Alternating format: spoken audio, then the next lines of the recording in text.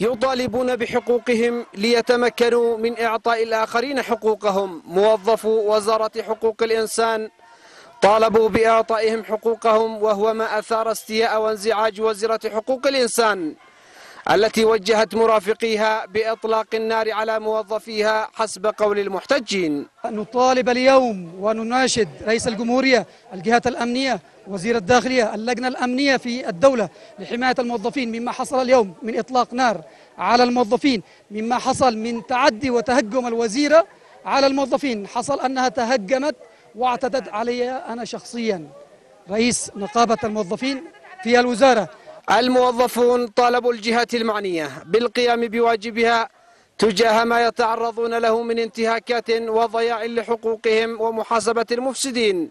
منتقدين ما تلفظت به الوزيرة مشهور بحق موظفيها. إحنا توقعنا أن وزيرة جت من الساحة أنها سوف تكون مناصرة للحقوق. لكن الذي حدث أنها أصبحت منتهكة للحقوق. تمارس الانتهاكات داخل الوزارة في حق الموظفين. هل تتوقع من هذه المرأة أنها تستحمل حقوق خارج الوزارة؟ نحن الآن معنا قضية في المحكمة منذ سنة وأكثر في المحكمة الإدارية. وإلى الآن لم تنصف حقوقنا.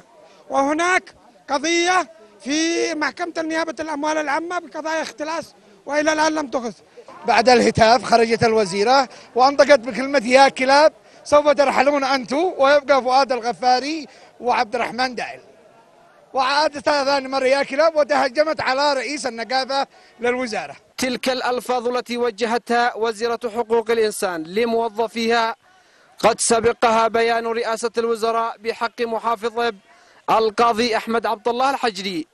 وما حمله من ألفاظ لم يسبق أن تلفظ بها رئيس وزراء في أي بلد بحق مسؤول حكومي. علنا أمام صدق المثل الشعبي القائل باب النجار مخلوع. في ظل بحث ومطالبة موظفي وزارة حقوق الإنسان عن حقوقهم من وزيرة ادعت حمايتها لحقوق الآخرين. يحيى الهادي اليمن اليوم. صنعاء